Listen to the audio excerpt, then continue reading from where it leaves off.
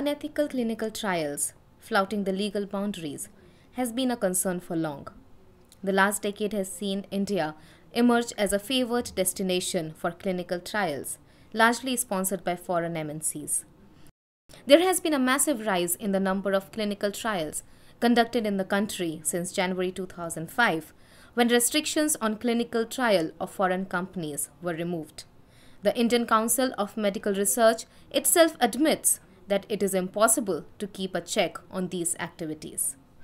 The ICMR states that the data and reports of various trials are often difficult to find and in some cases do not even exist as many trials are abandoned or are not published due to negative or equivocal results.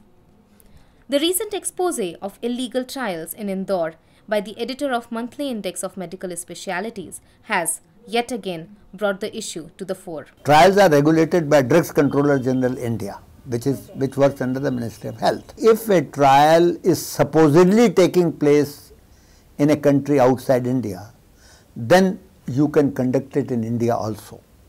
Now the difficulty with this kind of a rule is how do you monitor whether a trial is taking place abroad or not. So these things are not at all implementable in our country. So to that extent the law is defective. Sama, Resource Group for Women and Health has been campaigning for poor vis-a-vis unethical clinical trials. NewsClick, in association with Sama, did a story in July 2010 when it was found that 14,000 tribal girls of Khammam district of Andhra Pradesh were subjected to trials without their consent for a commercially licensed human papilloma virus vaccine manufactured by Merck.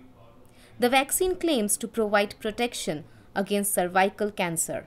The vaccine trials in Khammam had to be discontinued after reports that four of the girls who had received the vaccine had died. What was shocking was that the exercise was conducted under the name of National Rural Health Mission with due permission from the state government. The trials were conducted with the active participation of the ICMR and the US based international NGO PATH. It raised serious concerns regarding the ease with which ethical norms were flouted, especially in the way guidelines regarding informed consent were disregarded. Such violations of ethics and law continue even today.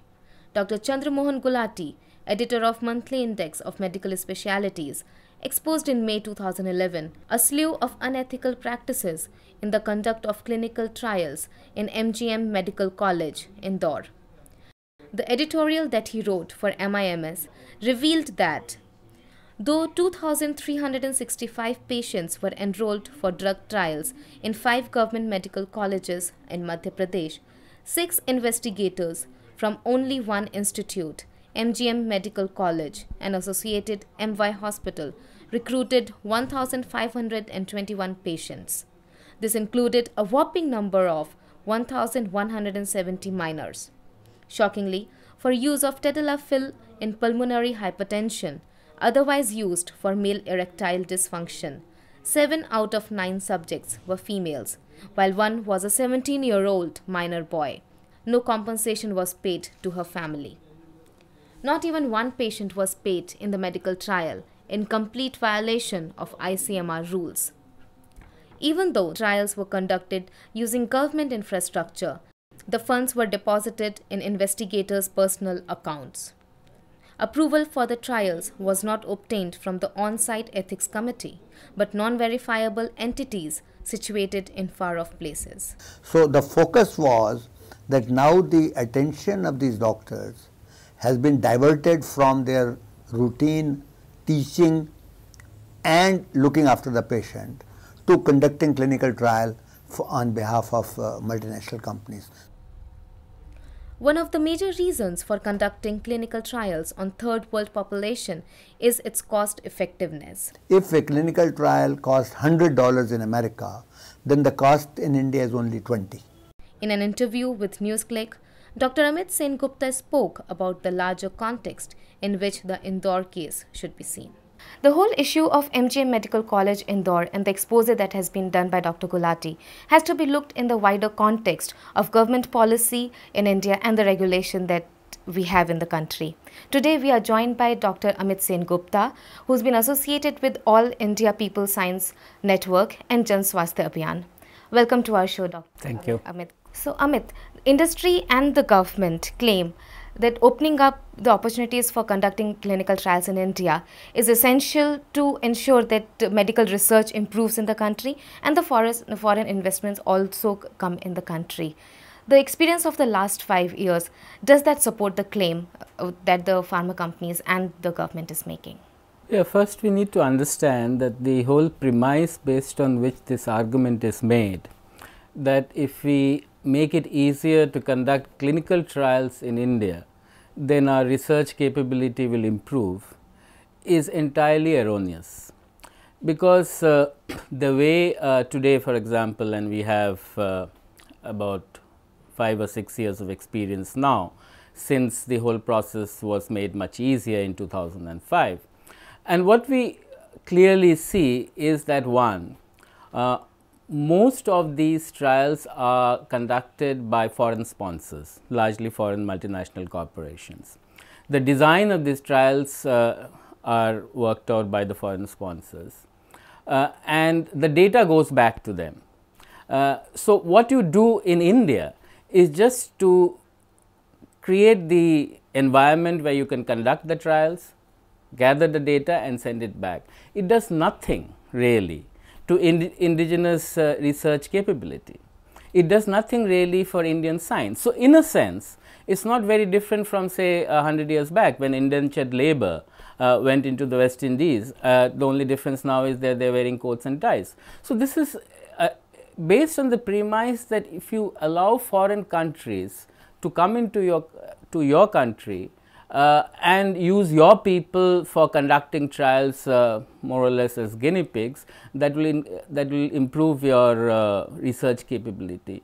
Uh, it is not something that is borne out by the evidence or the experience of the last 5 or 6 years. Last year, uh, clinical trials for HPV vaccines in Khammam district of Andhra Pradesh had to be stopped because four tribal girls died in the process. So, do you think that Indian subjects are being used as guinea pigs by the big pharma companies, international pharma companies?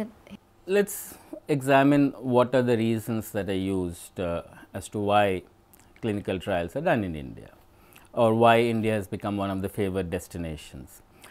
One of the reasons is, uh, that is uh, put forward is that patients in India are treatment naive, which essentially means that they do not have access to public health, which basically means that the fact that the Indian people are deprived of public health is an advantage that we wish to use uh, to make a little bit of money for a few people.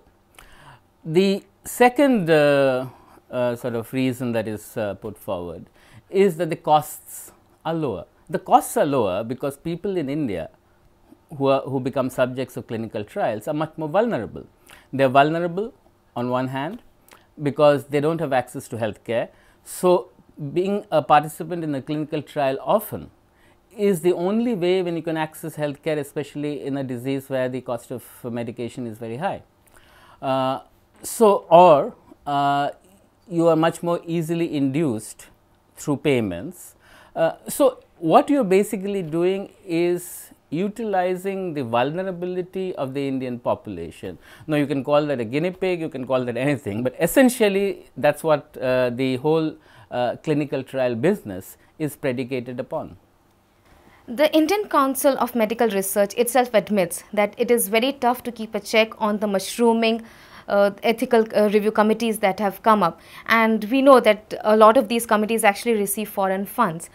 So, uh, in this context, how can the regulation be done on uh, and what uh, within the uh, given legislation that exists, what changes would you like to propose where we can actually deal with this matter effectively rather than just saying that something unethical is happening on the ground?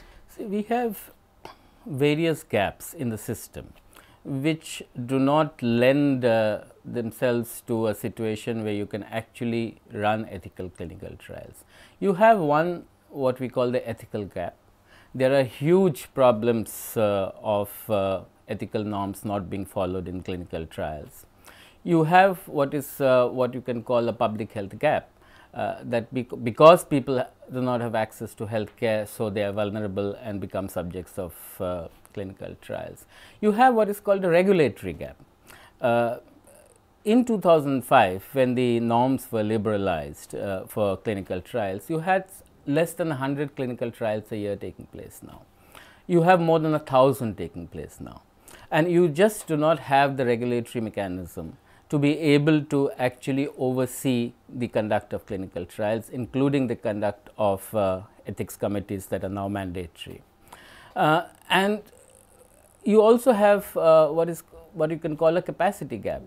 In these six years, there has not been a concomitant rise in the number of personnel that you require technically equipped to conduct clinical trials. So, essentially what you are seeing is a huge increase in clinical trials without a concomitant increase in the kind of uh, in the kind of facilitatory environment that you require to conduct these trials in an ethical manner.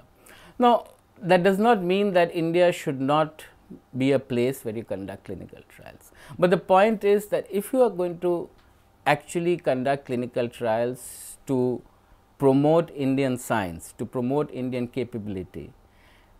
The number of trials, the trial sites, who conducts these trials have to keep pace with the various regulatory and other mechanisms. Thank you, Amit. It was nice having you on our show. Thank you.